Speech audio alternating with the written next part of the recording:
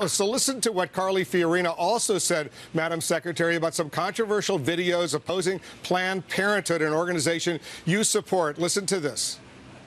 I dare Hillary Clinton, Barack Obama to watch these tapes. Watch a fully formed fetus on the table, its heart beating, its legs kicking, while someone says we have to keep it alive to harvest its brain. This is about the character of our nation.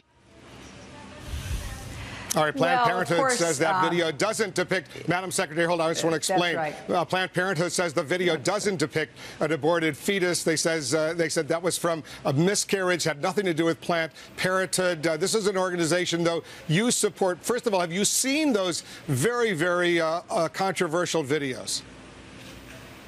Well, Wolf, let's let's break down what's happening here because I think it's important. I know that uh, there's a move on by um, some of the Republicans in the Congress to actually shut down the United States government over their demand that uh, we no longer give uh, federal funding to Planned Parenthood to perform the really necessary health services that they do for millions of women.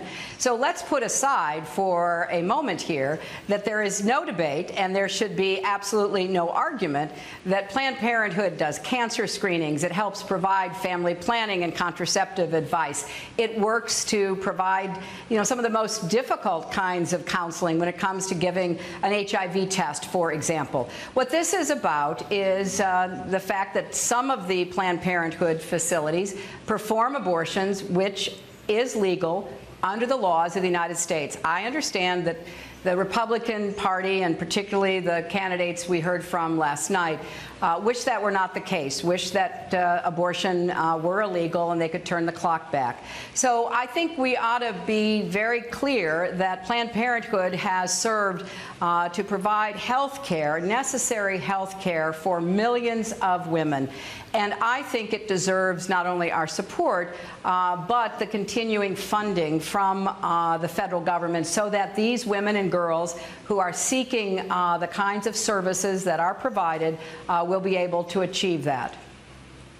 All right. Have you uh, are you confident that Planned Parenthood, Madam Secretary, or any of its affiliated uh, groups, if you will, haven't violated any federal laws?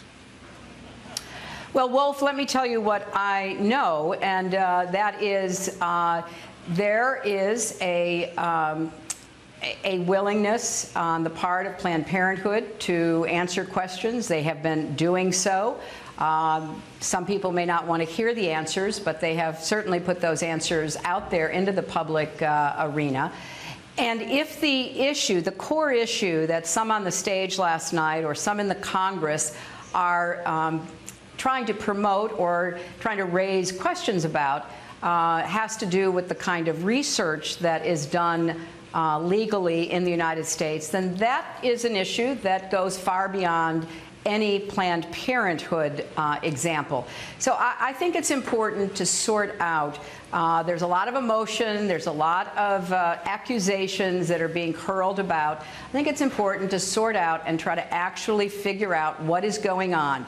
If it's the services that they are trying to shut down, like providing family planning or breast cancer screenings, that is just wrong, and women deserve to be uh, given support to get those services provided. If they want to shut down the legal uh, provision of abortion services, then they've got a bigger problem because obviously uh, they, Planned Parenthood does not use federal dollars to do that.